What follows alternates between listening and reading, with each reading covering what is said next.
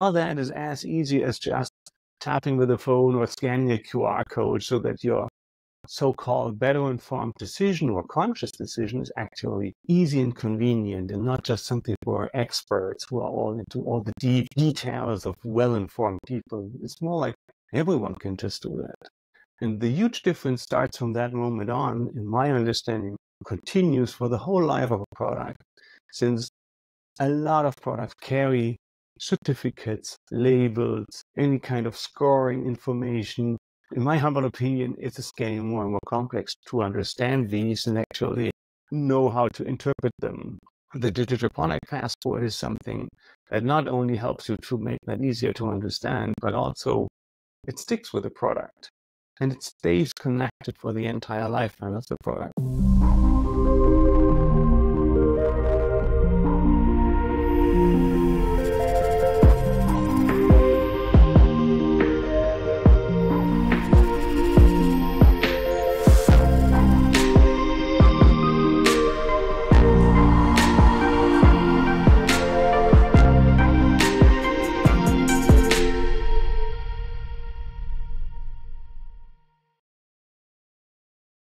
Thomas Rödding is my guest on this episode of Inside Ideas, brought to you by 1.5 Media, Innovators Magazine, and the Alojas Regenerative Foundation.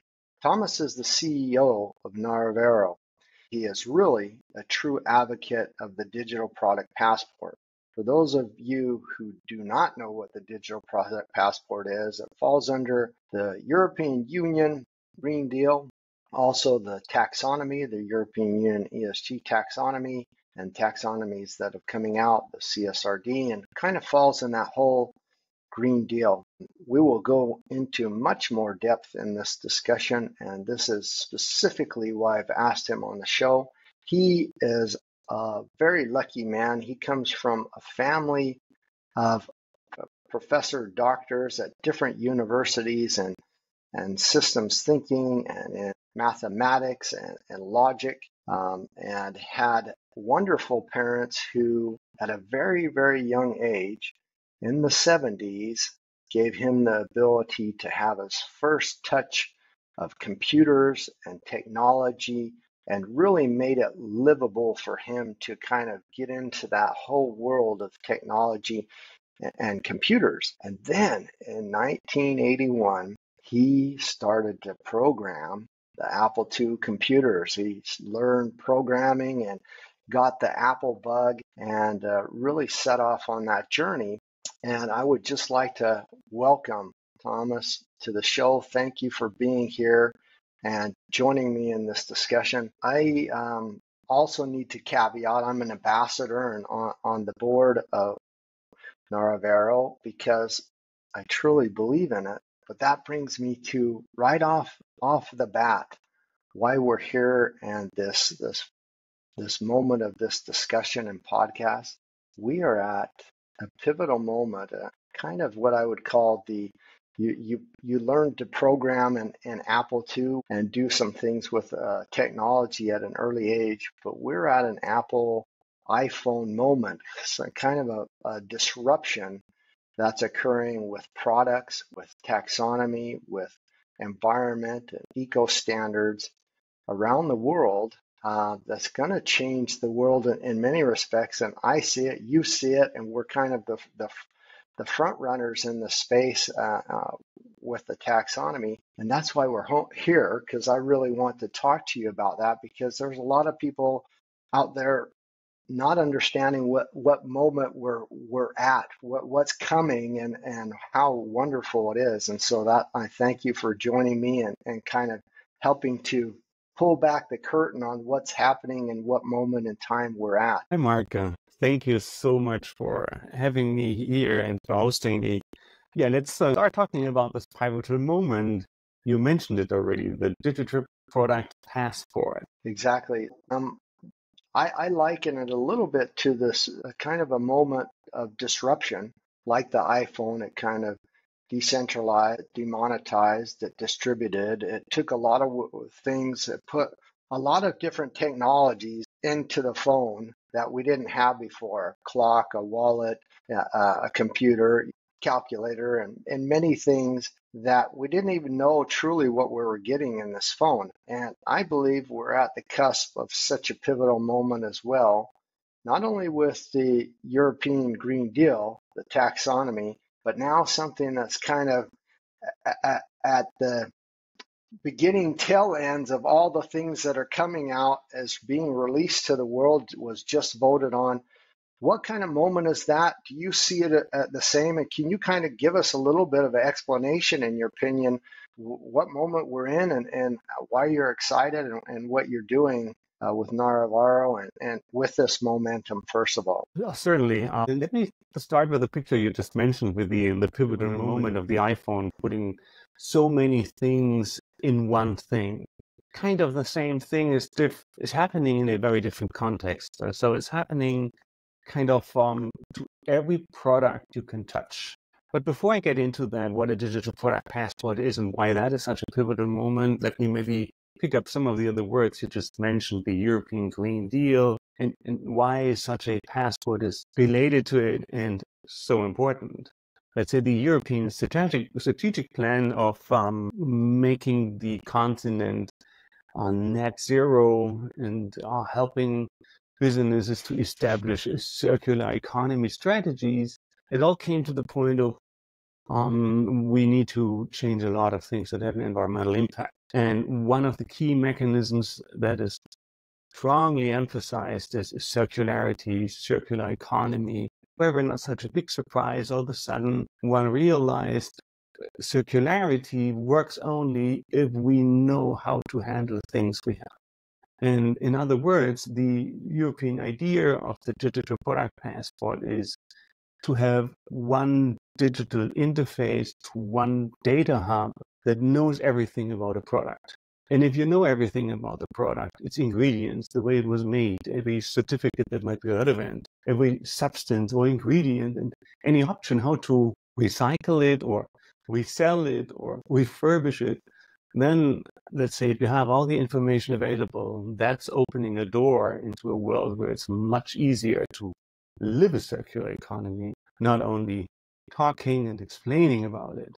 So why it's pivotal in my understanding is once we open that door and every physical product has a connected, let's say, digital file explaining everything about it, that opens up a new way of interaction between customers and products not only to get all the information, but also to rethink how how easy it will be to handle the product responsibly, regardless if it's repairing, refurbishing, reselling, recycling, or any other of the sustainable options.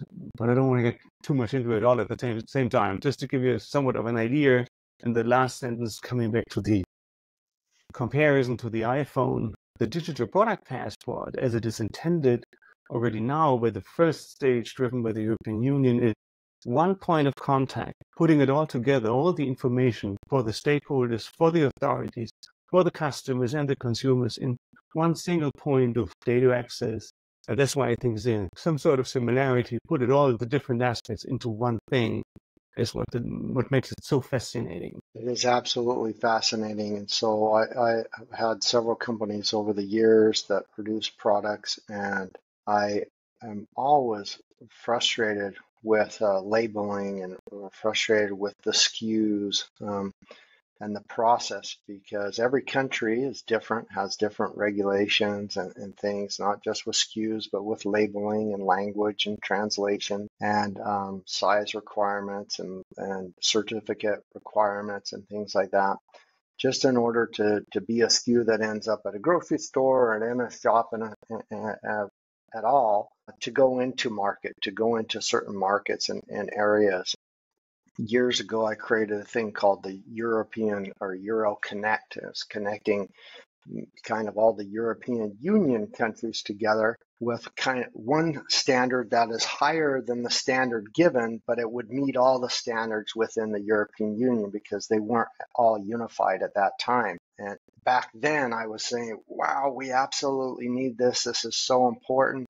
And uh, if I want to to launch a product, I, in, in the past, I had to go from one country to the next to open up a market and do translation and, and labeling and all those things. And I was saying, well, why couldn't we sell the product through the, all the European Union? We, we call it the European Union, but that wasn't available. It wasn't available in the languages and the translations and, and all the things that were required to meet food and product standards for those regions. And so now this is coming, which uh, is is a no-brainer. Just puts that that light bulb goes in, and I'm only tickling on the surface of what my past experience was with products and and what a game changer this is for each and every everyone out there we're seeing companies uh, like Adidas and Patagonia and uh, cosmetic companies and food companies already getting ahead of the game, jumping on board with with uh, digital product passports.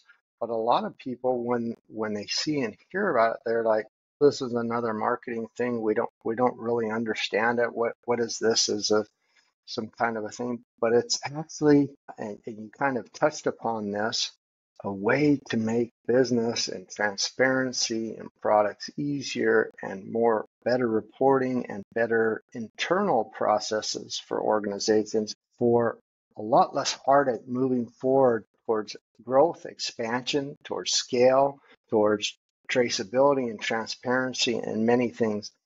Besides the things you already discussed and, and what I just mentioned as the opportunities that I see, I know you've heard about some reports uh, that are out there and some things that are circulating around with the data that we have now. What are some other benefits or things that you're excited about or, or why um, uh, that we should know about that you would like to tell us about? Let's say that multiple levels. Level one is um, if you think about the B2B business chain working on a product before it actually gets on the market there's always the issue of now more and more collecting the information, collecting certificates regarding environmental standards, social standards, and all the different aspects of sustainability. Given the understanding that a digital product passport is fully intended to be machine readable, this means all that information shall be available for all the different stakeholders along such a supply chain to really work with the data. If you think of nowadays, if you just get a photo of a certificate hanging on the wall in any factory, might be okay, won't really help you. It's a hard job to get that understanding what it actually means, if it's valid, and a lot of these details are usually challenging. This starts to be different on level one before the product actually enters the market. Then the, the second stage, if it enters the market and is, let's say, available at a point of sale, the big difference now with the digital product passport is the intention of enabling everyone to get a direct access to all that information, even being enabled to compare different products of the same class, group, category, and compare the different information that is provided based on the European Union's regulation.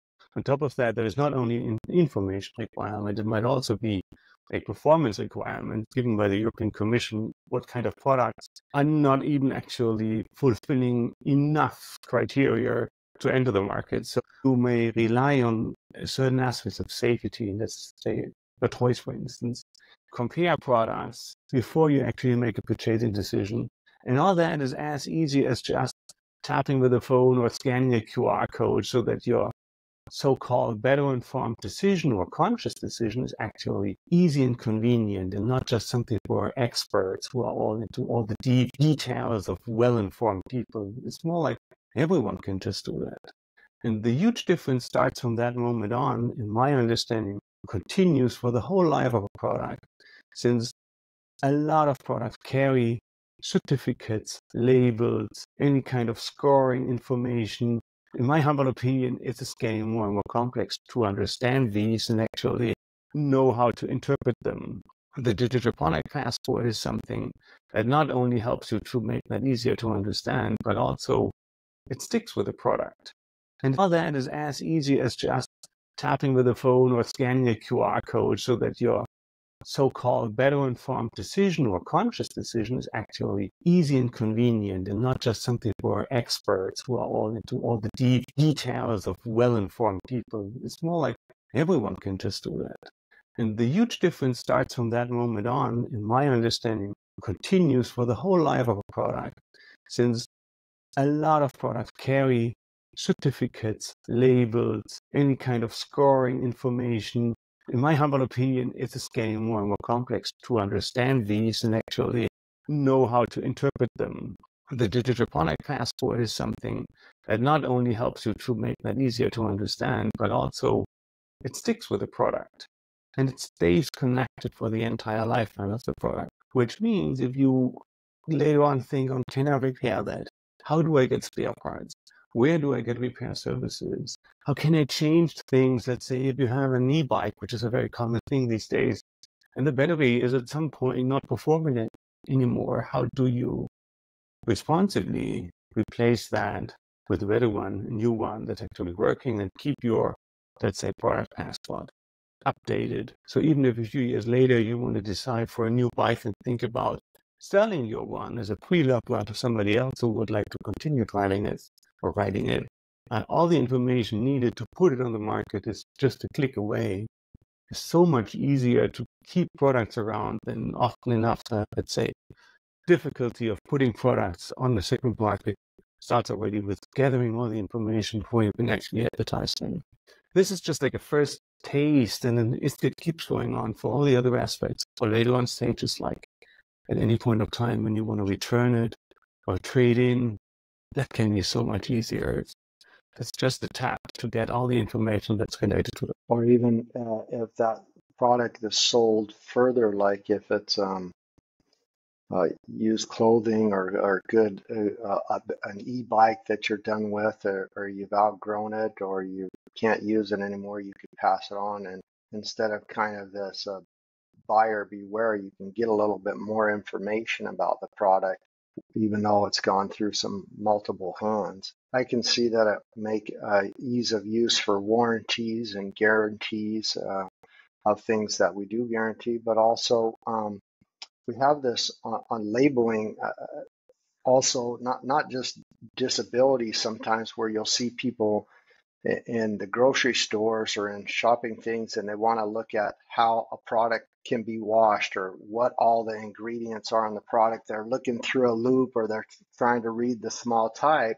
Well, that, that goes away from your product in some respects because you don't have to take up the landscape of your product with all sorts of tiny information about what it is because it's there in a digital form. So everybody's got a cell phone or a, a, a, thing that they can quickly see that they tap it on the product or tap it on the barcode on on the on the code on the shelf or or different parts of that and it just pops up and you can read it in the size you can have it be read for you and you have a great uh, saying with Narravero is basically let your products speak for themselves. Let your products speak for you know out loud. These living products basically kind of tell you a little bit more about it. Do the deep dive visually audio large type you know for all sorts of people. So it just and like you said, we're just tickling the surface of all the opportunities that that we're getting into that are actually benefits make life easier not only for the customers but for the the uh, producers and manufacturers. And, and in reality a lot of marketing and advertising agencies out there are doing these labeling and designs of packaging and products and clothing for other people, it makes it their job and their lives easier to have that advanced step to be future fit on a lot of different products out there. You, I know um, there's been some studies and reports done through KPMG and, and others that are talking about a, a few areas of products out there and what the potential is. Can you kind of tell us about that and and uh, what you're seeing and, and how close to the reality those those numbers and things that we're seeing. And maybe help us put that into perspective that understanding. Absolutely. It's some of the, the, the moments i sometimes experience which is so um, impressive in numbers that people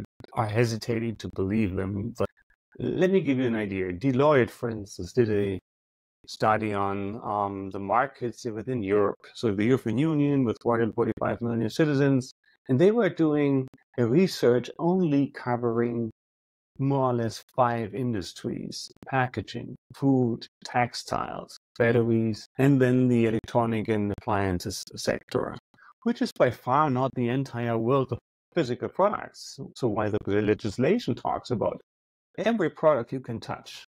This only talks about five sectors. It does not talk globally, it just talks about Europe.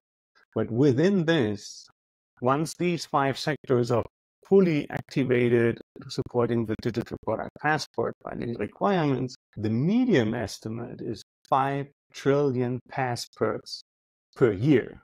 So just it's a very long number. Like, like really hard to imagine, but think about that. Like, every product you can touch within these sectors. So regardless if it's a, a packaging thing that might be a multi-use recyclable packaging thing, or if it is as I'm saying, the textiles or any of the appliances or any food, all these are uh, and carrying an identification, enabling you to access all that information.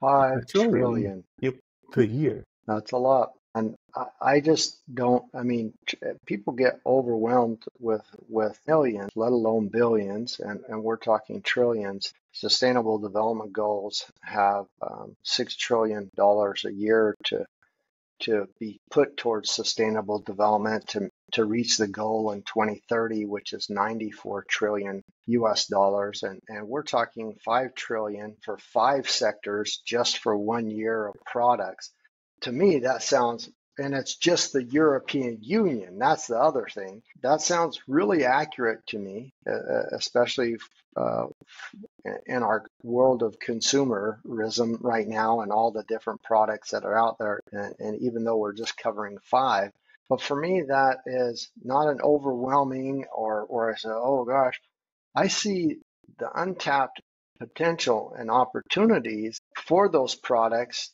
to resolve a lot of a lot of problems. So I don't see it. It's all, of course, it's a business opportunity. Of course, there's um, things, efficiencies that organizations can uh, can gain from having that, and also a lot of ease of reporting, a lot of ease of consulting and advising fees to to do a lot of things in the future. There there is that opportunity, but I, I see and sense something much more in the long term, not just for those initial five, but I know that there's a rollout where eventually every product that is produced is, is going to have such a DPP, a digital product passport, along with it. Can you tell me what some of those things are that, that are going to um, impact sustainability, impact the environment, help draw down human rights violations, global grand challenges, greenhouse gas emissions, waste, all sorts of other things that we're dealing with with uh, products today. Yes, uh, of course. What are already like a few of them really important questions. Let's start with the last one, with the environmental impact. The first idea is that the passport will enforce economic operators before they put a product on the European market to make sure that anything that is laid down in the information requirements will be accessible easily in a trustworthy method without going into all the deep technologies, but it's more than just saying it's a good product. There is a lot of things happening behind the scenes, ensuring who is saying that, why is that trustworthy, and like a lot of these technical questions, so that any information regarding environmental and social impacts may be verified, can be understood, can be checked, and can be trusted in. And then the um, thinking about the other aspects when you uh, take it from a consumer point of view, let's say you and I, uh, if you buy a product, one thing is to make the right decision when to buy it. Then there might be the other point once you have it, how do you actually take care of it well? How do you repair it? How you keep it in your life? How easy is it to access spare parts or repair options? How do you find someone who can actually help you servicing or maintaining the product around. And all these things, in my world, I would say that is a new single point of contact that is built into the product and will stay there. So it will be accessible, let's say, in up to two years. The brand finds out we have a better upgrade option to keep the product around a longer time by repairing or replacing certain parts and making it more efficient, let's say, and energy efficient, for instance, having a better battery capacity they could update the password and you could see by tapping on your product, my e-bike has now an upgrade option. Instead of thinking about whether to throw it out or not, you could just say, I would trade in my old battery and get a discount for the new battery and be fit for the next five years to have a even better battery than before. And so this kind of thinking, in my understanding, is a huge change. And the more I would take the consumer's point of view, it's so many more aspects. You mentioned in one of your first questions, can I read all the instructions? Are they in my language? All of that is so much easier if it's just happening through your smartphone in a standard way where you have all the accessibility support to get the information as easy as possible. Or even think about conversational AI as one of the topics of the day everywhere. Sustainability information is complex. And in general, I would say product information can be really complex the more you get into details of chemicals, ingredients, maintenance, and all that. Imagine all that information becomes available in a conversational interface where you can literally talk to the product. How do I repair my shoes? Can I replace the sole? Can I get a new battery for my e-bike? Can I eat that food although I'm allergic for this and that?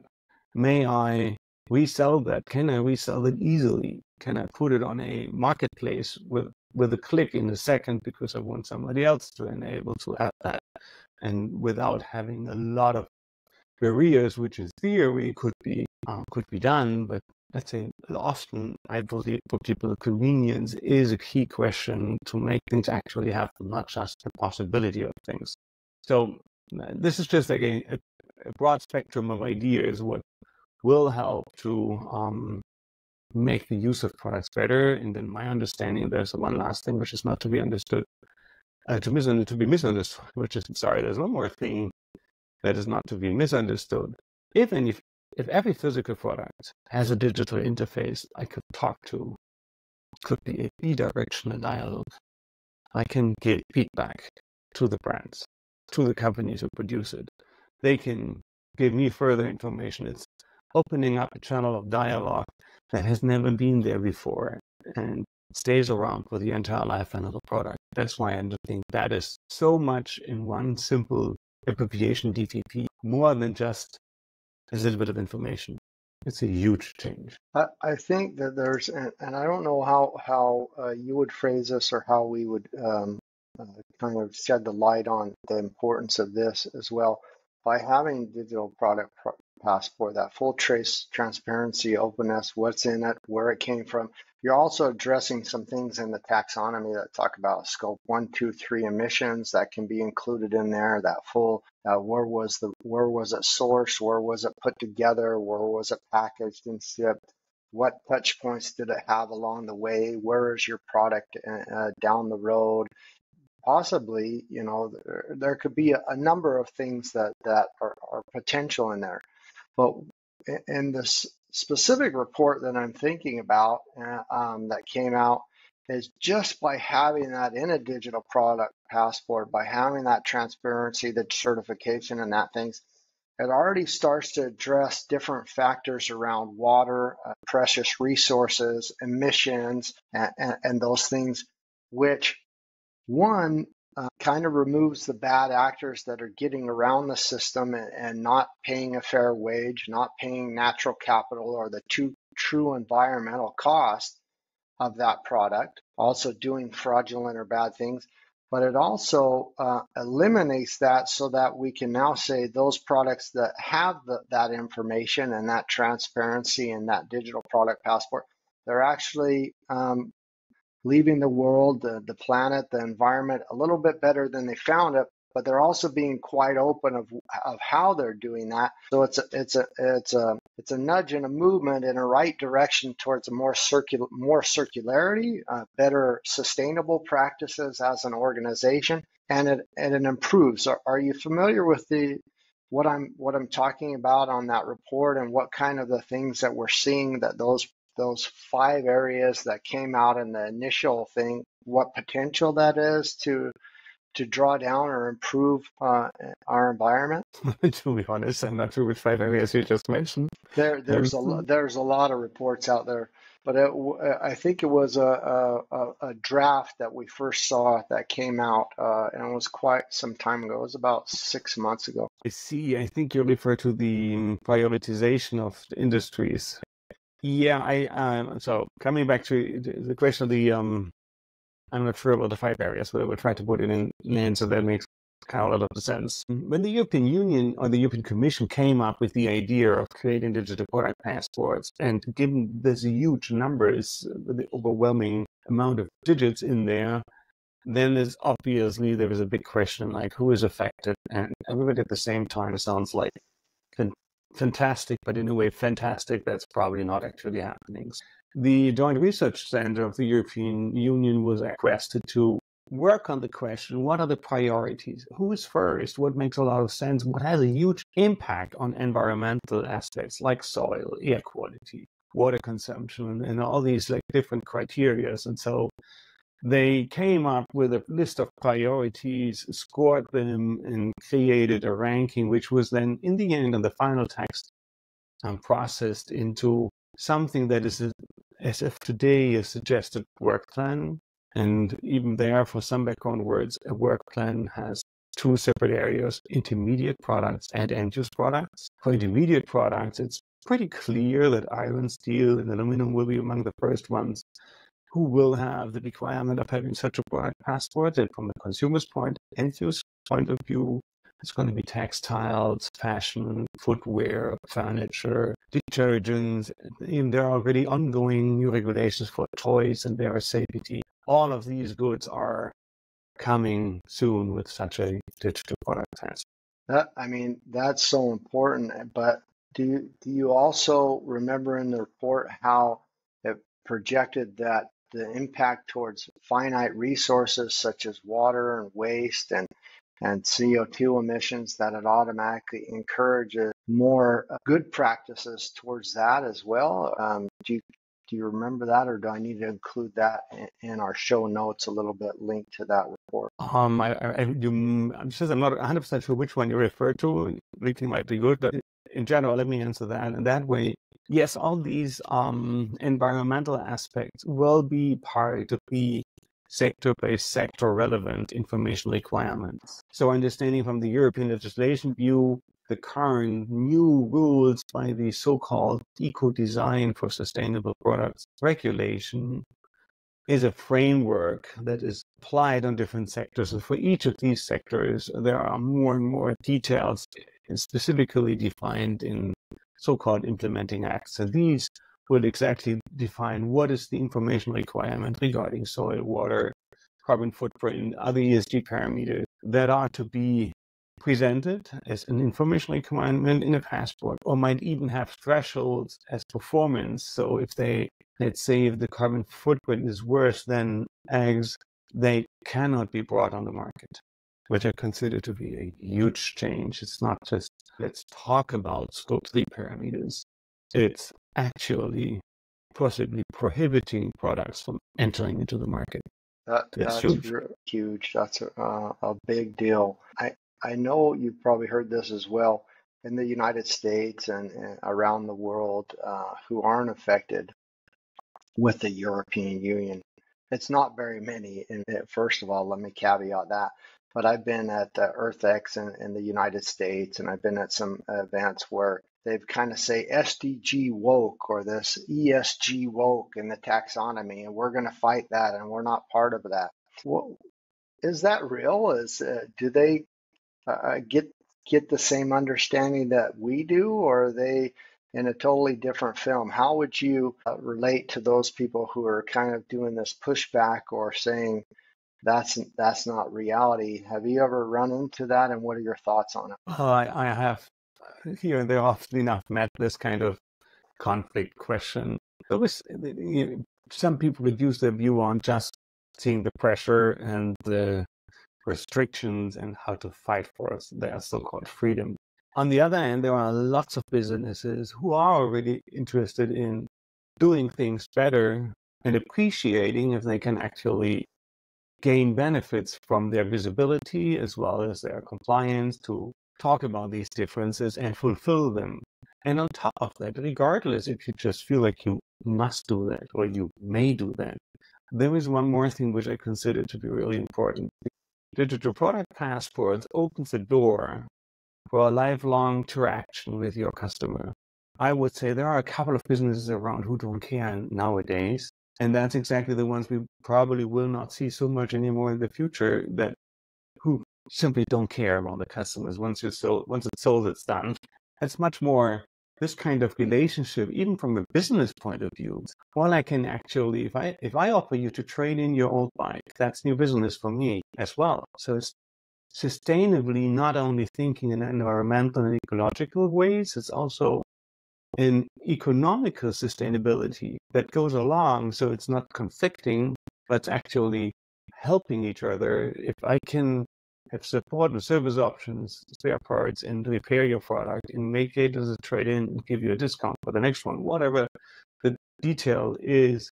From a business point of view, there is not only a duty of compliance, it's even a beauty of communication between the brand and the customer. And so I think those ones will be happy about this change. There is uh, uh, something that I want to want to share, and it is a keynote. You see this at all? This this coming up on the screen? Not. Do you see anything on the screen? I see you. Okay. Let me see. Is it somewhere some setting that I have to adjust here? No, it's okay. It's on my end. I just impromptu. You, you shared the screen already? Yeah, but apparently it's not showing oh, oh that window, but I guess it's not going to work for me. You can send nope. me a screenshot and I can That's okay. It was um, basically I was going to show um, the European uh, Union vote on the digital product passport and how how it passed. But that that's that's something I kind of wanted to talk about in, in this in this guise. The European Parliament, the commissions, the voting, the processing that they do on this is extensive. On the day that the digital product passport uh, was voted on, it was almost a 12 hour day at the parliament with all the delegates and countries uh, there that were doing the voting. And the video that shows that process was 12 hours long. There was some breaks in between, but it was 12 hours long. And it wasn't until I think around the fourth hour that the digital product passport was voted on. And it was only a couple minutes of, of time in that video. One, ASEM's amount of policies and regulations and things that are voted upon for the European Union that pass. And what what a miracle is that we came together and we we worked through this with the tax, the way the taxonomy works is a, a core commission of, of 40 people, and then there's a, a, larger group of enforcers, and there's the PSF commission, and, and then many more things on the taxonomy.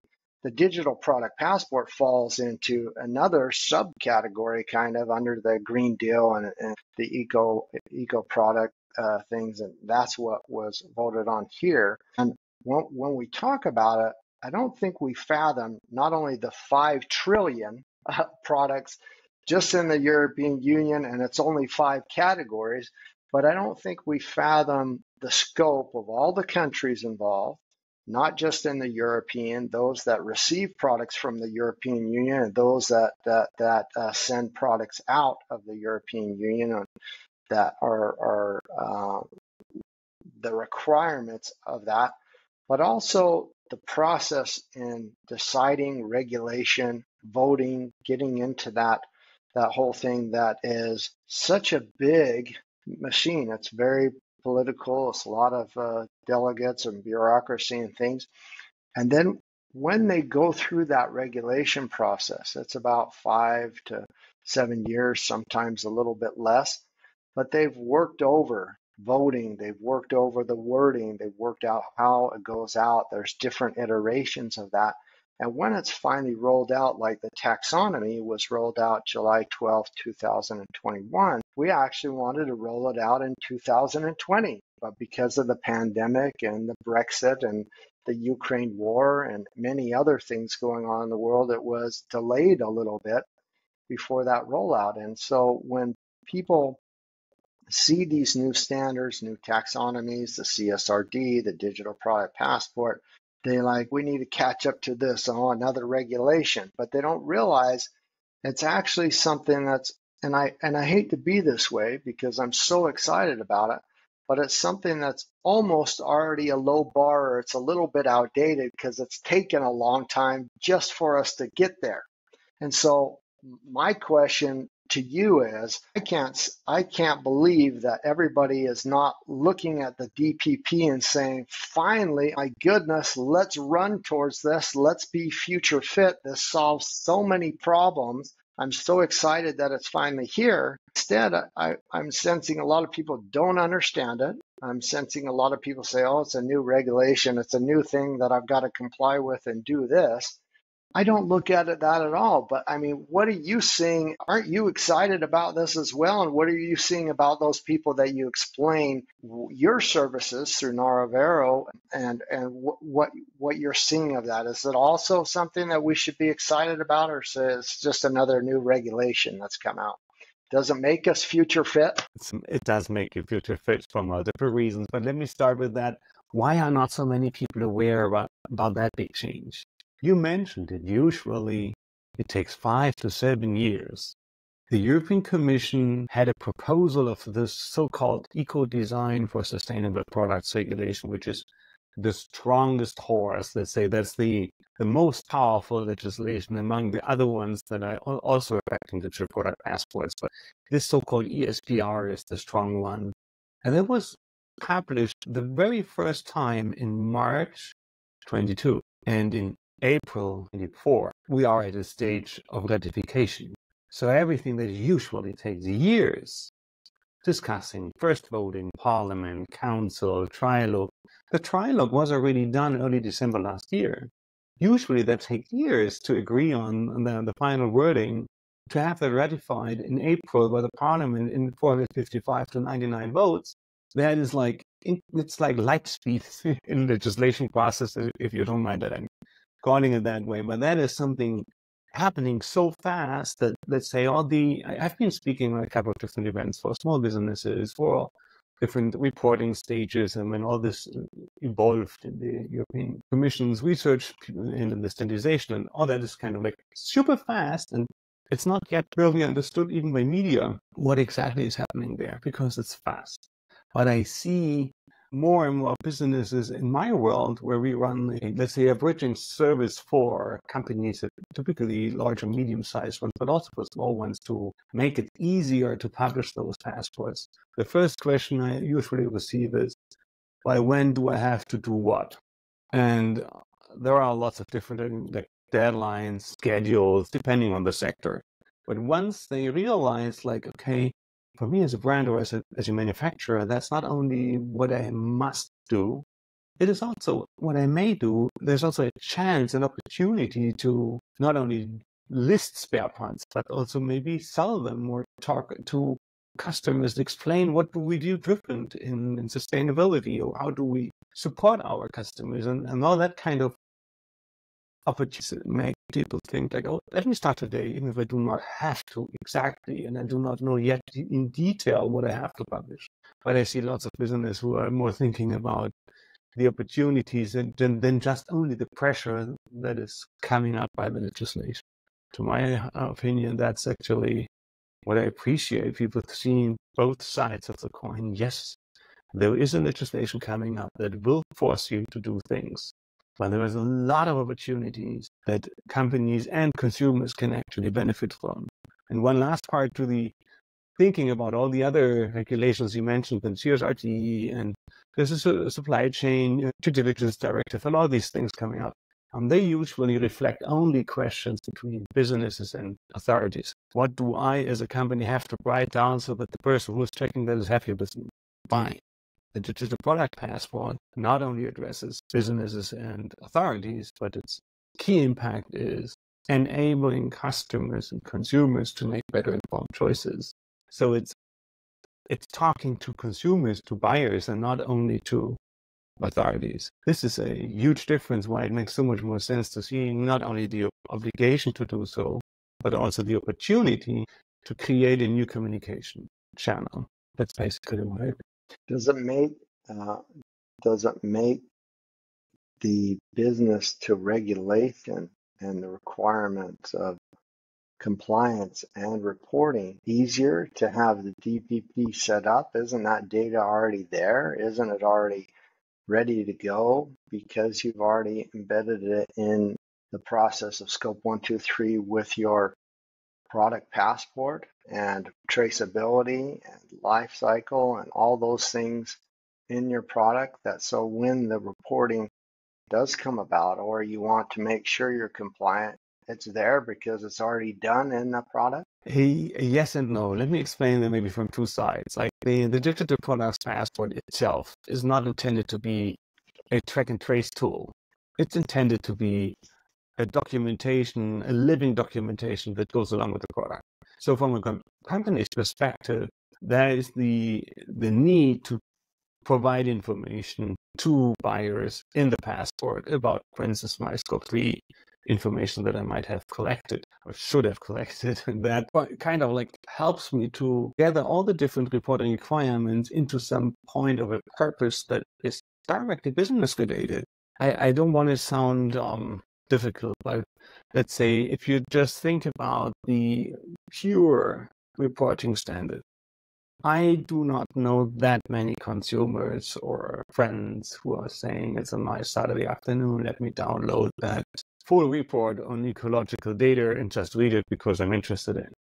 So, what I think will help a lot is using digital product passports to give the, the subset of aggregated information a stage of visibility that actually is interesting for buying decisions, not only for documentation purposes. So, what I believe is the passports are more than just a report. They are something that can be compared. So, just give you an example, the um, the European Commission is intending to set up a web portal. So you, you could compare two products. So the scope three analysis is not something as a business you do for the authorities. It will be visible there to compare products on their properties and characteristics. And so it plays a role not only on the investment market or finance reporting, it plays a role in everyday decision if you are easily compared to your competitor. And that's why I think that is a very good step forward to give that all the purpose. I agree as well. I, um, but I also see another aspect. I don't think that if if uh, you don't have a digital product passport or if you're not ready for that wave and writing it in advance, that you would be compliant with the taxonomy, the CSRD, or the other things, or have that data readily available on scope one, two, and three emissions. But I think if you have a digital product passport and your product's information and all that is put into a digital product passport, and you have the opportunity, whether you've rolled it out or not, for your products to be in there, I'm pretty sure that all those other compliances, that information, that data is already there. It's not not necessarily needs to be there with your client, but it's in your organization and it's linked to that last leg of, of your product and, and to the customer that would then show that full transparency and that full uh, the full scopes uh, one two three as well for to, to comply with that regulation, making that much easier and making your organization future fit. That's what I see see it as, but I, I don't know. Maybe I'm totally wrong, and I would love to get your feedback if you see it differently. No, no, I, I totally agree. Just to put it in very practical words, if you are selling, I'm, I'm thinking back to the e-bikes, not only about e-bikes, just a picture everybody has an easy understanding, kind of complexity like car, but something that's much easier. You buy more often you have an easy imagination how that product is actually constructed out of different other products. So in the battery, an engine, a frame, tires, you know, combine that in a bicycle. So thinking about ESG scope one, two, three means if I am the economic operator who puts the bicycle on the market and I am reporting on the product level is at one scope one, two, and three, how do I get all that information? So if my suppliers are also required to provide product passports and they are machine readable, and the information requirement is a carbon footprint, then it means the entire structure of collecting such data will be so much easier if it is in a standardized way part of an information container. So if I put together five components into a new product, and I get with these components already the, the relevant data is so much easier for me to provide that full information instead of doing research and trying to figure it out by questionnaires. Does there, that make sense? Yeah, it makes absolute sense. And so what what I'm um, hoping to achieve or kind of try try to set the tone of is if you want to build a ship, you do not drum up people to go out and gather wood, divide the work up, and give orders. Instead, you want to teach them to yearn for the vastness of the sea. And with the iPhone, with the digital product passport, it's um, not catching up to regulation or requirements. It's to yearn for the vastness of something that is easy and understandable. I, I, I think it's horrific, uh, and I have for a long time. I've, I come from the food space that I have to look at labels and ingredient lists to know that I'm not killing myself or that there's something in there that I don't, you know, want red dye number five or number six or whatever. I don't want to eat things that have chemicals and pesticides and, and things in there that I even have to go in and, and spend the time of, uh, of my life to look at, you know, where does this come from? What does it do? And over the years, just as a climate speaker and as a, a, an economist and that, I've spent a lot of time, you know, is that a good product? Is, is that having human rights violations? Is there certain things like that, which is important for me as a consumer? But what wouldn't it be nice if that was uh, taken out of out of that? We had this grand vision that that made life simpler. I, I'm hoping you and I aren't aren't in ten years from now having this discussion, having a discussion. How is your ESG reporting coming? How is this uh, uh, uh, new regulation coming? I'm hoping that through the Green Deal, the European Green Deal, through the taxonomy, through the digital product passport, that these things that are mundane and we shouldn't be doing in the first place kind of fade away into the ether because the standard has been set so high that we only have good products, that there's very little corruption, there's very little bit of things that are having human rights violations, human health issues are um, uh, things that we have to worry about, that those are just we're we're conducting better business. We conduct better products that are just uh, more future fit. I, I, that's the world that I would like to be in, and I, I really see that this is this whole thing is a nudge in that direction. It's not dividing up work, doing reporting, and that it's this grander vision of what a future can be that leaves that is circularity as you've uh, used as you've mentioned, but also is leaving the planet better than we found it. One thing you tickled upon, tickled upon in that is is this um, the the form of circularity which we've been trying to go and how how this really solves a lot of problems with circularity. And I, I really think that's a key thing that we've always struggled with. How do we get that circularity? Because there's a lot of traceability involved in that. There's a lot of data involved in that. There's a lot of things that we need to know is it in a circular closed system? Is it coming back um, that we couldn't do before? And I think this solves a lot of that problem. Absolutely. And um, let me put together the two questions of circularity. And you just mentioned making life easier. Let's say, from my point of view, if we would um, let's say, have an anticipation what happens once everything is set up and running. these Digital pass- passports are everywhere. Let's say it's all it's all done. Then I believe so many of your daily questions become so much easier because if they are machine readable and it's just a tap with your smartphone, why not on your end have a preference profile, like a matchmaking process? What are the products you consider in your world of decisions and the other ones not? So, regardless if it's requirements you have in mind from a sustainability perspective, they need to be uh, matching these and these criteria to be circular products. There might be ethical, religious, environmental criteria, or even you come back to food questions like food related criteria. And all of these could probably be part of your future preference profile, which just makes it so much easier in daily life with the tap with the phone to the product to see an immediate is this in my scope? Does it match my world? Or it's totally out of my scope and it's not worth spending a second longer looking at it. And only if it's somewhere in the middle, you might actually have a deeper or detailed look at it and see whether or not this is okay or not okay for you. But let's say for from from from now to then, it's getting more and more complex to understand all the different criteria and data points. So I think it is the only way that people in a daily regular situation will be capable of handling all that information that technology helps to do a kind of a matchmaking a product tells you talking wise, hey, this is me and this is these are my characteristics.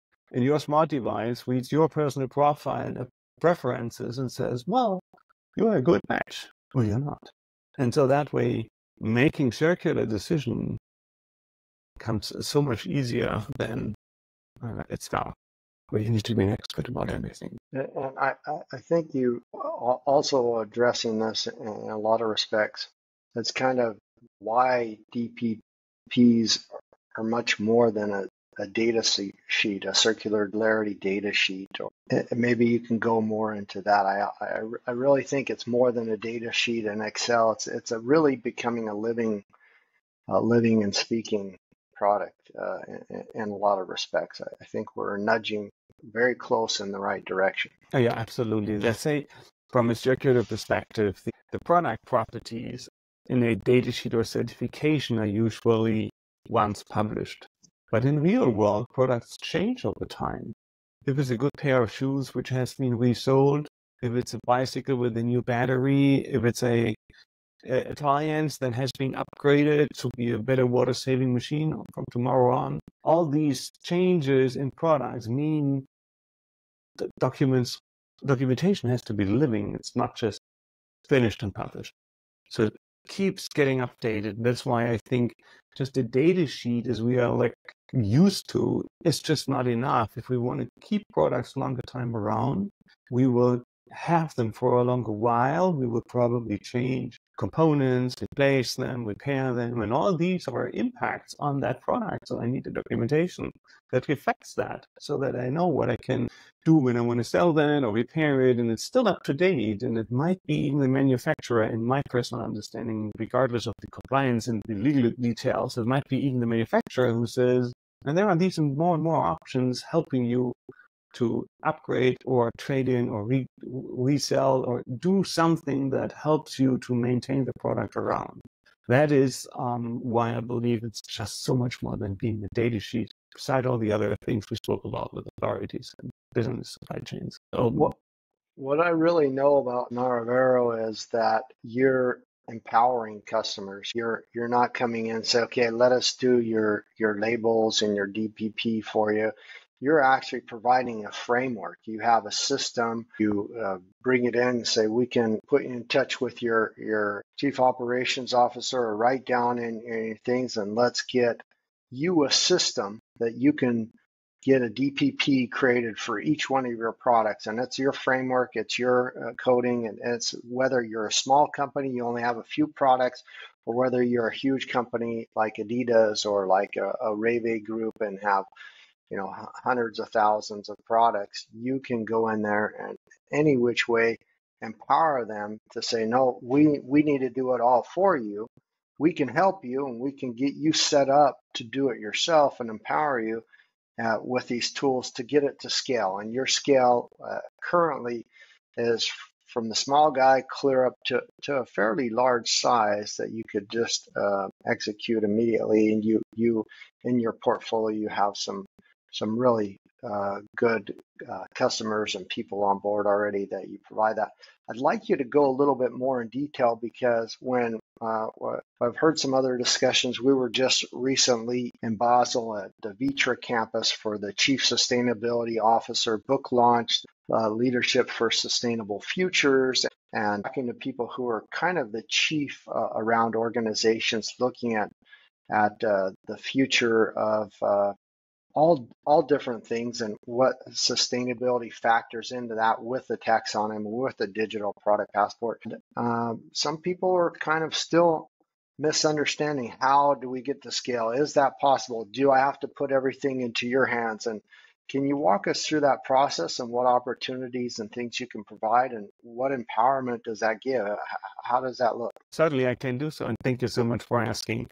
Thought we had when we started to think about the Narravero platform is this is so much information and there are so many interfaces and so many different directions like authorities and data in your lifecycle assessment systems as well as your product information and your resource planning in the enterprise and like lots of those things. How can we make that so much easier, even ones, but certainly also for medium and small sized companies, companies since um, that needs to be easy to handle. And so the whole concept of Narravero's digital products passports as a service is a technical platform giving you an editorial system in your hands that enables you to publish a new passport within 15 minutes you drag and drop resources and content in a way that's that's like kind of like as you were used to building up the first web pages quite a while ago when you had like an editorial system dragging images and videos to the right place.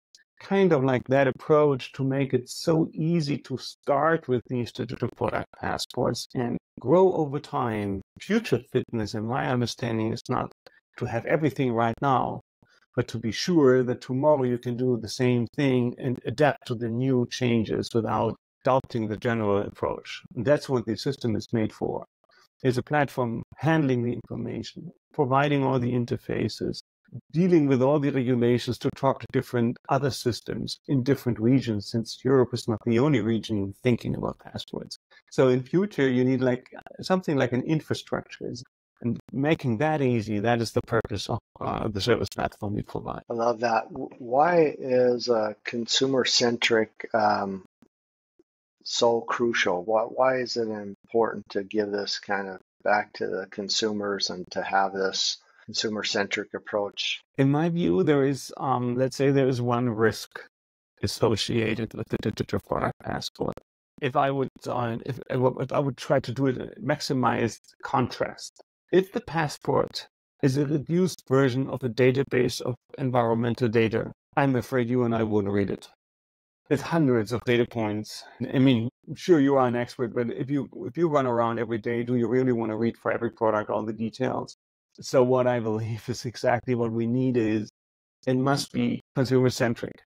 People like to be more and more aware of conscious decisions but it doesn't mean every decision they want to do takes them 30 minutes to read through a ton of information. So that's why I believe customer centricity means it's not only to be informed about a product when I do a buying decision, it's more being my point of contact for the next five or 10 years. Products have to be repaired, and even repairing becomes an obligation within Europe. Products need to be easy to repair for a long time. Then how do I access that information? Whom to contact? How do I maybe do something on a customer replaceable part myself? Where do I get this part? And can I quickly order that? Or do I have to dig through a search engine in the internet for 15 minutes to find the right part number? Customer centricity means to me it must be really easy to use from a customer point of view. It must be easy to understand. It helps me with instructions. It shows me video clips. It is connected to whatever is my daily need then I might even find it enjoyable. It might even be entertaining at some point if, if you think about auxiliaries or cross products that go along with mine. Then I have a good chance that everyone is happy to use this interface and is not like, oh yeah, there's another spec sheet. It's digitally available, fantastic, but who cares if, if it's just that? So I believe we need something that is teasing people and it's, is appreciating the attention to that interface so that I have a benefit in the use. That's why I believe so strong in the smart mix of requirement of information and customer centricity. I love that. I love it. Yeah, I, I agree as well. I, I, I kind of mentioned it before. I don't want to go through and have to look at all the fine print and all the labels and what's in this and, and that. Uh, it's it's just overwhelming. Today, I do a lot of podcasts with authors who have written, you know, large, thick books and, and things, and and I'm just realizing people don't even read books anymore. That's why they listen to podcasts and audio versions. It's uh, we're in this age of information overload, and we're creating a lot of waste and and too much information out there. And we, we've heard about the digital uh, digital information and digital waste and kind of what we're creating that that I think uh, this is much different than that, and it solves a lot of problems that, that makes things go in the background that should go in the background, but it gives us that vital information when we need it, easily accessible, that doesn't get get us overwhelmed. Speaking about that complexity and issues and solving problems, what will happen when the DPP once it's firmly established, once it starts rolling out, what do those phases look like, and what are the things that you've already found out, addressed, or, or know that problems that will be solved from it? And and do you think there's some that you you and I are even missing that it will solve that we haven't even thought of yet? So, um, well, I'm sure there are things we are missing right now, and there will be more coming up over time. But but when I see today, businesses are starting to um, get themselves prepared, thinking about the idea, how to aggregate all the information, understanding and probably actually realizing we can't do all at the same time. So we have to prepare and learn processes to keep them updated year by year and learn how to get all the information together. And that will be changing over time. It's not one thing you, you just flip the switch and then 100% is done.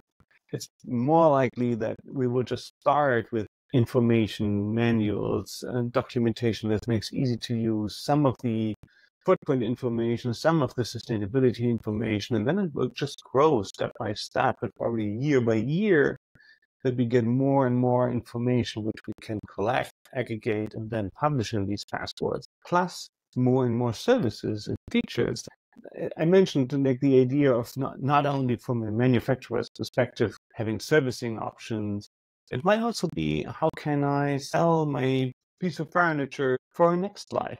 The easier this is from the owner's view of the first life, the more likely it is it will actually happen. It's a big hassle to, to remember all the data when it was bought and what was the exact photography. And if it's like all difficult to put it on the market, it might end up in waste.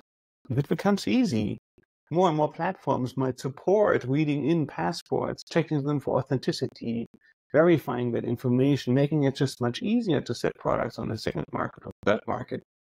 And so I, I would think that there will be even probably over time an ecosystem of companies thinking about extended services for passports. To give you just one spontaneous idea while we're talking at this moment, why wouldn't at some point an insurance company just read the passport and give you a proper suggestion how to find a matching insurance contract that's not exaggerated, which is exactly matching the product. Just to come up with one idea, but I'm sure there will be an ecosystem. I want to stress the iPhone idea, but let's say the iPhone became not a phone with glass keyboard. It turned into a platform where tons of developers do tons of things maybe with a much reduced view, but nevertheless, products and product oriented services. I could picture a lot of ideas by creative people who start to think about, oh, if every product has a machine readable passport, there are so many other products and options and services I could actually provide if I know right away much better than before what is the product they're talking about and how can I contribute to keep it around and if not to responsibly put it into a proper waste management and recycling. You touched on the marketing a little bit there. What, why are marketing the services part so uh, important in your view on the DPP? What is what is your views on that? Well, the the many aspects to be honest. From from a from a marketing perspective of a company, there is usually always the question: How do I aggregate every information that is relevant pre-sales, every uh, uh, information that is relevant is a so-called second moment of truth. You made a decision, you're at home. How can I support you the best to be happy with the product? In the past, we were focusing on unpackaging and manuals and we talked to marketing people. But let's say nowadays you don't want to see a manual. You don't want to read a 15 page, 15 languages. I'm sorry, 15 languages in a book that you throw out right away anyway. So you would rather have an easy introduction with a video clip how to set it up. And this kind of thinking keeps on going. If I can, as a manufacturer, upgrade passports over the lifetime, then marketing becomes relevant to understand what did I do not perfect, what may I provide us better information, and maybe even upgrade and cross-selling options saying, if you have this, you might be interested in using that. And I think the huge difference is it's all non-obtrusive, different. If you open your web browser, you don't have so many choices not to see any advertisements. It's you tapping to your product. It's you deciding, now I want to deal with my product XYZ and see if I find some better options to extend it, repair it, or replace it. So it's something entirely different than being in the storm of communication, which is a picture of marketing, which you might not appreciate. It's much more like it's relevance driven, it's non obtrusive. If it's actually the fine line of being a well defined servicing a customer and an experience, then overloading with a thousand options you might not even be interested in. Why are service providers like Narravero uh, uh, so relevant for a quick success to get people on, the right side of history, get them into the future, get them to scale, to help them with things. I think that is one of the typical dilemmas the more we talk about sustainability and all these things. They are complex. And usually complexity always needs lots of different experts. And that creates a hard, hard path to get there. And service providers, in my understanding, are helping businesses to keep their focus on the things they want to do, which are their core business questions. Service providers just make those aspects so much easier that are relevant, but you do not need the entire infrastructure yourself that was already the at least uh, the, my conviction for for quite a while to do that approach to make it easier, specifically getting internationally for many regions and many different company sizes. On top of that, and that is what which has turned out in legislation, a European Commission started to think about we need service providers as well because we want to ensure that you can access passports over a long time, or you might have even companies, or other words, you might have products being around where the company is not anymore around, or has been sold, or has been taken over by somebody else, whatever. And so, um, service providers are the the intermediate part, ensuring that it's easy to set it up without having all the deep knowledge of the details. It's easy to put it into production on large volume. And it's easy to have backups over a long time without the need to set it up all on yourself. That's the idea of providing it as a service. I, I really see this, and I, I I'm sure it plays a role in it. So I not only see as a service provider for the digital product passport, I also see that there's probably going to be eventually something on uh, everybody's phone or their own uh, GPT or their own kind of profile as a person, their own. You have your own passport uh, mark as my my German or American passport has a, a, few extra things in it in my phone that says, you know, I, I, like this type of food, I like this colors, I like this type of product, I, I uh, really want those things so that when you, you scan or when you're looking things and you maybe can even get suggestions for those those right things that are coming out in the future.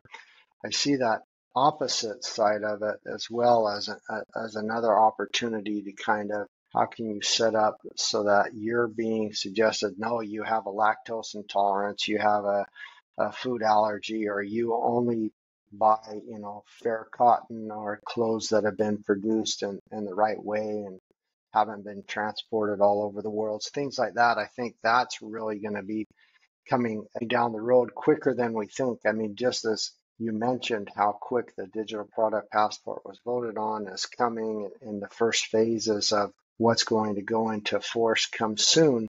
Why should we start now and not wait till these legal deadlines uh, are enforced or in the transition? Why is it better to be ahead of the game and start now instead of say, oh, well, I'll wait till that comes out or I'll wait until uh, all the other countries debate whether they're going to get on board or start? I think there are two good reasons why to start early.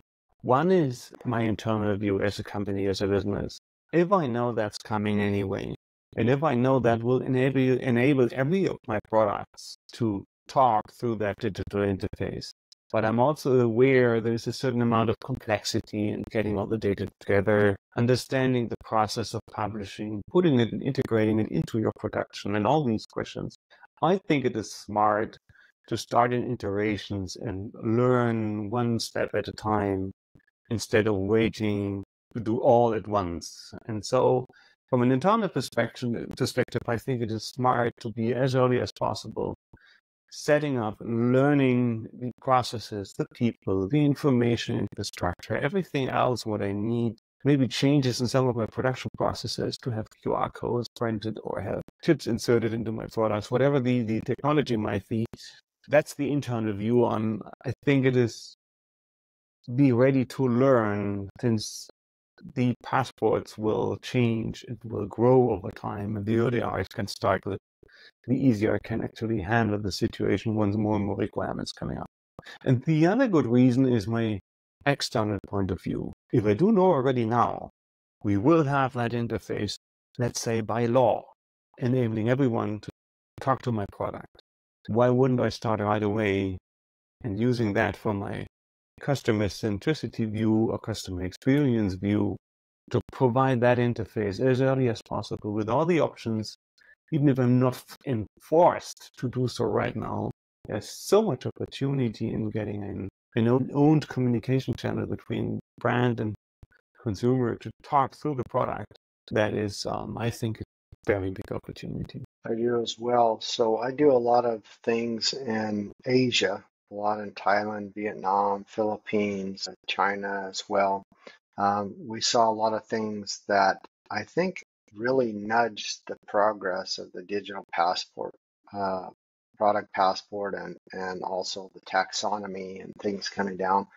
In my opinion, because of the disaster that we saw with the supply chain during the pandemic and the things that happened there, smart contracting started to emerge. A lot of um, things happened with the act of God clause, kind of the the intervention of pandemics and world issues where a lot of contracts were broken. Organizations, countries, regulators are seeing around the world that there is a, a better standard, there's a better, more digital way that we should be doing things to uh, be future fit for these uncertainties that are coming around in the, in the world. Uh, it really is important because why why is China, why is Thailand, why is Vietnam, why are the Philippines talking about ESG and having me do workshops, you know, there to get them ready? Um, I, I honestly believe because it's important and because it, uh, they see that future um, more than ever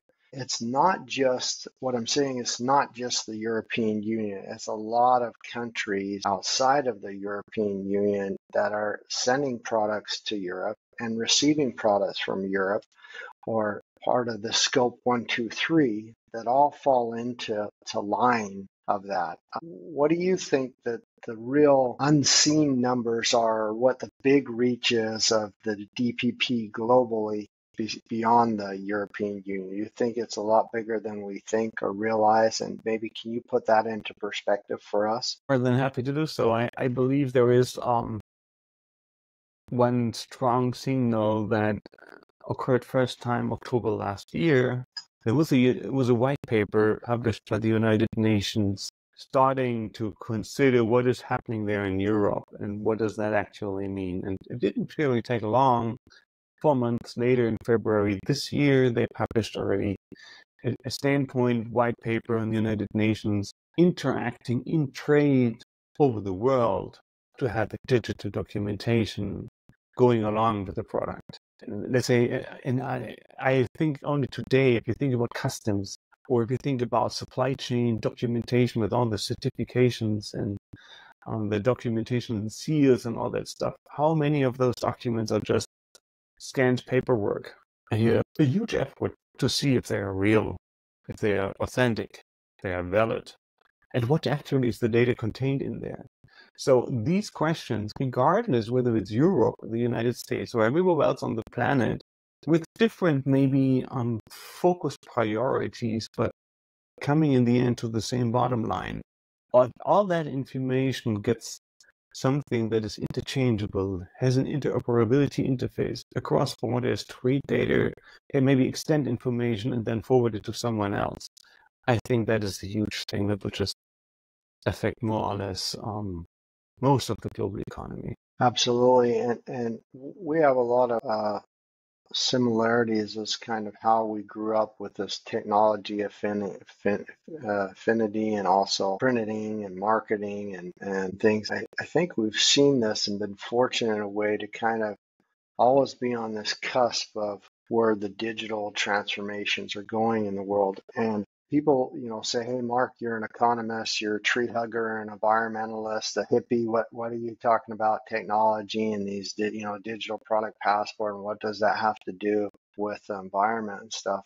And never before in human history have we transformed or transitioned from one epoch or age to another without innovation, without technology, the pneumatic tire, the steam engine, the printing press, the internet. You know, those are all been major things that have transformed the way we live, think, and work. And we're at the cusp of a new age right now, a new super cycle that involves, you know, biotechnology, wearables. It's involving the digital product passport. It's involving AI. And you're really at the cusp with Narravero that you're you're already using, you know, the digital product passport. You have talking products. You have uh, the ability to not just do that work to get a digital product passport for someone, but the technology to say, here, here's our system. Here's the tools. Let let us train you. And you can um, you can take that control into your hands and and give those uh, those products uh, there. Do you think um, this is the empowerment and the transition to really meet that digital revolution, that digital transformation we've been talking about for years? Is this another step in that right direction to truly make that transformation? Absolutely. Let's say just starting with hugging the tree to take a very simple start.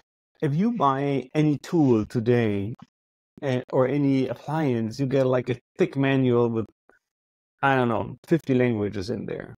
Probably stored somewhere in the basement, and whenever you will need it, you will never find it again because it's not there where you actually thought it is. And this is just like throwing out for nothing. Just starting with a simple example, replacing this kind of manuals, instructions, how to do things with a tappable interface that is in every product gives you, it opens up a new door that makes a lot of these traditional things obsolete. There is no need for cutting the tree first, making paper out of it, printing it, shipping the book to your home in order to have it sit in the basement and then go back to the recycled paper without ever having it any good purpose. Maybe the first two minutes when you unpacked and you were not sure what the switch means. But other than that, it never has a meaning. And I think that makes no sense. If you have the, the, the, I don't know, an electric drill in your hand and you just you tap your phone and see, okay, this is a way to switch the battery and turn it on and off and all the other things, you don't need printed manuals. So that's like the very easiest example of why why I believe once products have an unlimited digital extension as a standard, everyone knows, not not today, but everyone knows since it's defined, standardized, there's a legal frame for it.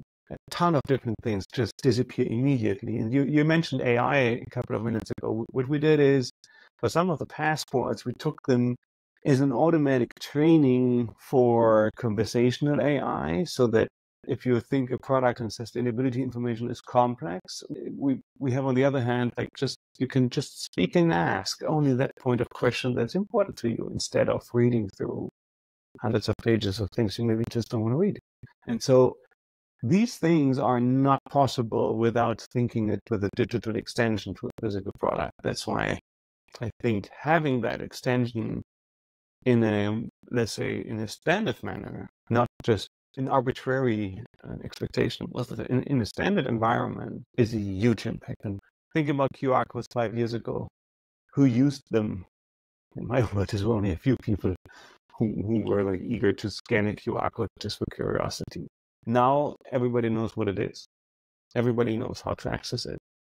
Next level is what is my expectation, what I'm about to see once I scan a QR code for a passport or once I tap the product to access that passport. That's the next stage of having a digital world right away linked to every physical. Yeah, I mean, I, I think that's so spot on.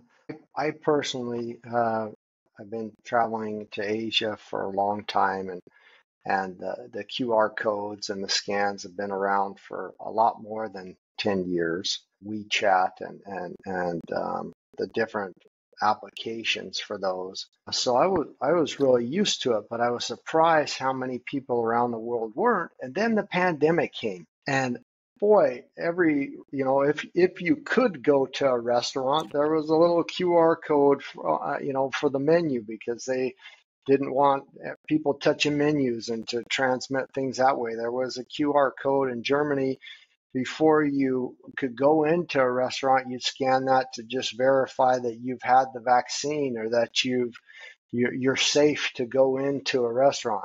Uh, everything, the QR wave basically popped up, and and I saw it was such a better way uh, um, to to move forward. It's right there. It's digital. It's quick. It's easy. But I also saw, you know, the the elderly say, I don't even have an app. I don't have a phone. There's things like that, but it's such a small few percentile that that is in that area. This the majority is really moving to this ease of use and, and to the future to really where we are, where we're at. What out of everything that we've discussed and your, thoughts on the digital product passport, the taxonomy, the European Green Deal, did we not cover that you think that we're still missing or we need to know that that uh, you you'd like to touch upon that we haven't covered here so far? I think we covered most of it. I think the, the, the bottom line is the key understanding. The digital passport is the great opportunity of combining sustainability and compliance as a thing we need to do with customer experience and centricity as a thing we should do in future. These, I think, are the two most important aspects which we already covered. One last that might be a side impact, but nevertheless wants to mention is, by the way, there is a nice, nice side effect. Authenticity of products is different.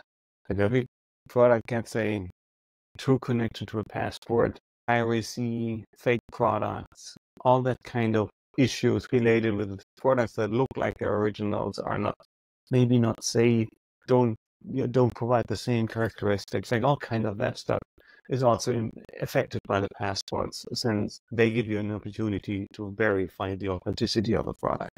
But I don't want to put that on the center of the stage. It's just an addendum which just crosses my mind. I think the most important point is there are so many different benefits from the fact that you could comply with what's next in sustainability and at the same moment enable a whole new world of a digital communication channel to the customer, staying there for years or even decades, depending on the. I, I, I wish we had that uh, digital product passport for all our politicians so that we could have that authenticity and that transparency with them.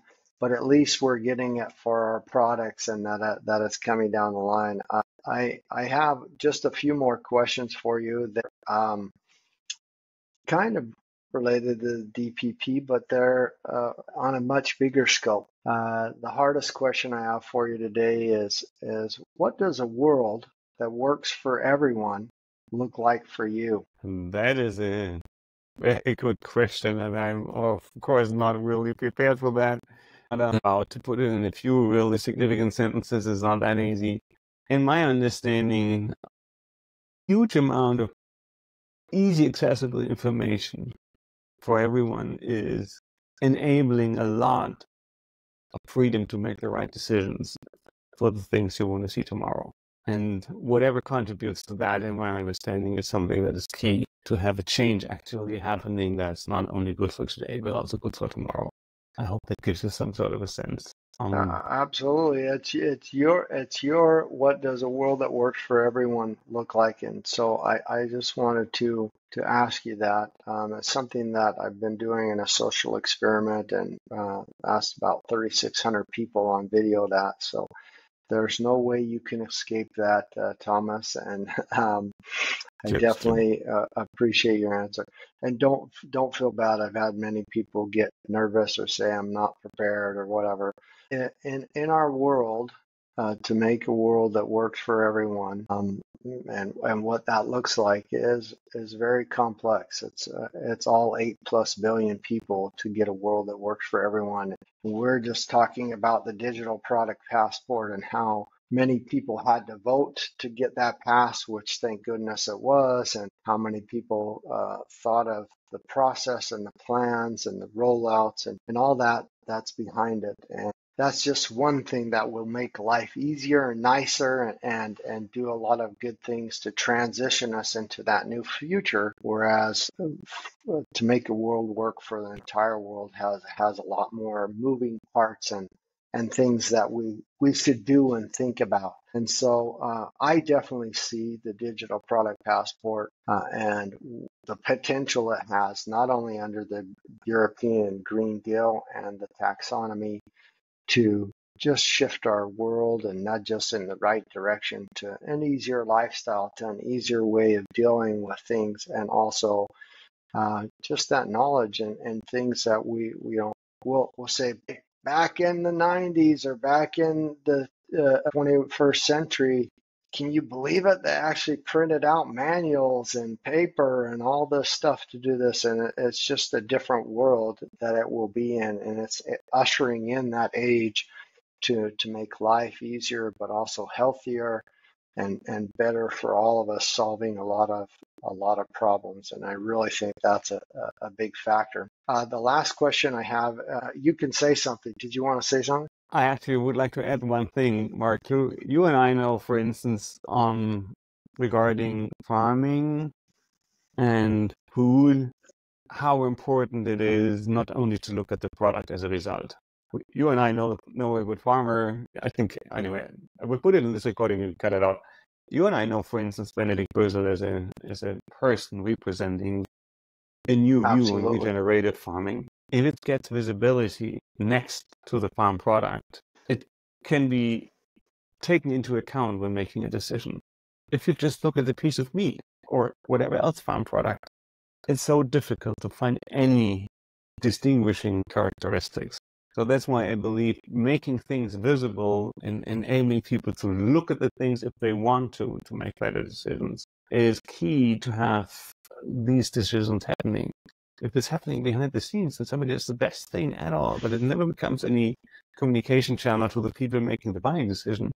Probably will be an idealistic thing, but not being any relevance to a change. That's why I believe it's so key make things visible. I absolutely agree with making it visible. And yeah, uh, Benedict Bösel and I both spoke in Malta at, a, at, an event, just the Green Vision Summit and Expo in Malta, and it was a beautiful event. And he not only is a great advocate for German speaking countries, but for the world for regenerative agriculture, better practices, a different way of doing things. I mean, uh, let's think about it and let's kind of try to get the comparisons to the digital product passport. Farming is somewhere between 12,000 and 16,000 years old.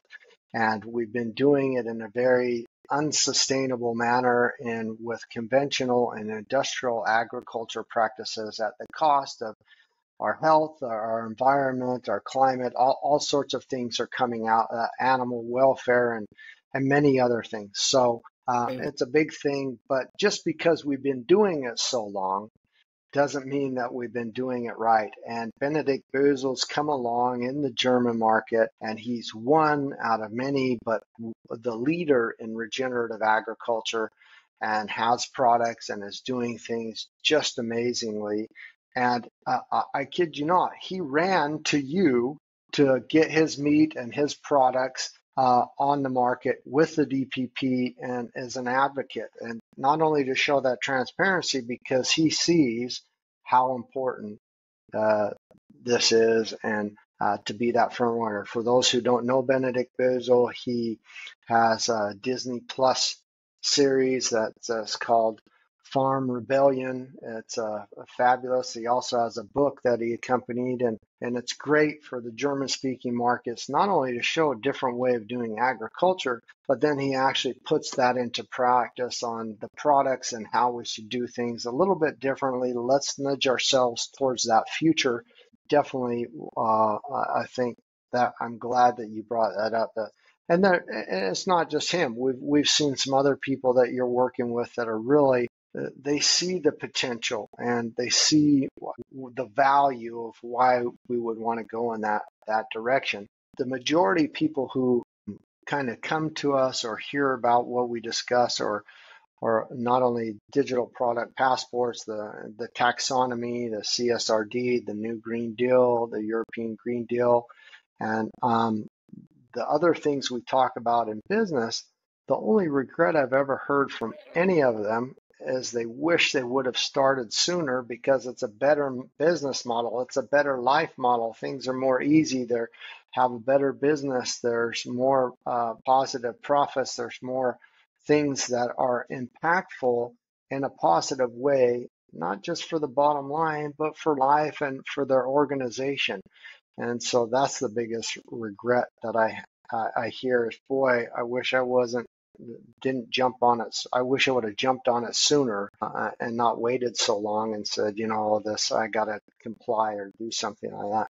And it, it, it's not just us; it's the Stern Review who wrote a huge report uh, um, saying that was the biggest thing. Why didn't companies always say we should have started sooner because it's just a better model to do it in these practices instead of fighting and saying we got to play catch up. Um, the last question that I have for you is in your journey, in your professional life experiences, you kind of were uh, mentored by these professors who were your parents and technology and math and studied, you know, taught in, uh, in academia, and then they gave you access to the, the first computers and showed you technology, and you've had this this uh, journey of love hate or however it is with technology and seeing the evolution in this long journey is there anything um, where you say uh, boy, I wish I would have known this from the beginning. I wish I would have known this uh, sooner. Or uh, is, is, there anything like that in this journey that you've had or your professional life that you wish you would have known from the start? Hmm. That's an interesting question. I actually have not really thought about that, but eh, I'm trying to come up with a quick, quick response on that while I'm trying to. I can tell you that, like most people say, most people end up saying, boy, I, I wish I would have started sooner. If I would have known this sooner along this journey, I would have started sooner. But a lot of people also say, and I, I say this is really, it's about the journey. I've enjoyed the journey. But had I come to this uh, something I wish I knew from uh, the beginning, I would have just started sooner. You know, I the minute I uh, got the training from Al Gore and and had that enlightening moments of some insights of those things um, to just execute. You know, I would start sooner because I think I would be much further along today. So picking that up, I'm I'm thinking um, I wouldn't really say that there's one thing that I would have wished to know earlier. It's a mix of two feelings. The one feeling is I do definitely like to, and do definitely enjoy actually to um to see this journey of digital development over the 40 years roughly, even a bit more than 40 years that I'm part of that. And um, nevertheless, I, I think that is a bit of a, a, a new thing that I would consider to be happy to have started earlier. If you see now how there is so much possible integrating technology into daily life of not really everyone on the planet, a lot of people using their ability to access technology every day in lots of different places on the planet. I wish I would have recognized some of these opportunities earlier and not thinking about the business aspect of it, but believing there would be more options than just the social media spread that's everywhere. Let's put it that way. I think there are more opportunities we could have used this technology accessibility for other purposes as well. It's just that. I don't know if that makes you gives you some sort of sense what I what I consider that might be good if I would have known that beforehand. But as I'm saying, it's a mixed feeling. Sometimes I think the try yourself is good and skipping moments not necessarily helpful. I agree. I agree. Thank you, Thomas, for letting us inside of your ideas, for sharing all these things. And um, hopefully, um, everyone got the understanding what a digital product passport is, the potential uh, of size and opportunities we have for the future, and uh, got a little bit excited as I did, and and, and you are to jump on on uh, the wave to to be prepared for what's coming and to to get your products in the digital product passport. We've heard it here. We've got you. Uh, thank you for uh, carrying the flag and and setting up the work and empowering people to to be future fit and prepared for what's coming. And I look forward to seeing you very soon and speaking to you soon as well. Thank you so much, Mark. It was a pleasure to have this talk with you, and it was a pleasure to discuss the different views we had. And I'm more than excited to see you soon again, hopefully in person. And thank you so much for hosting me today. You bet. Have a great day. Thank you. You too. Thank you.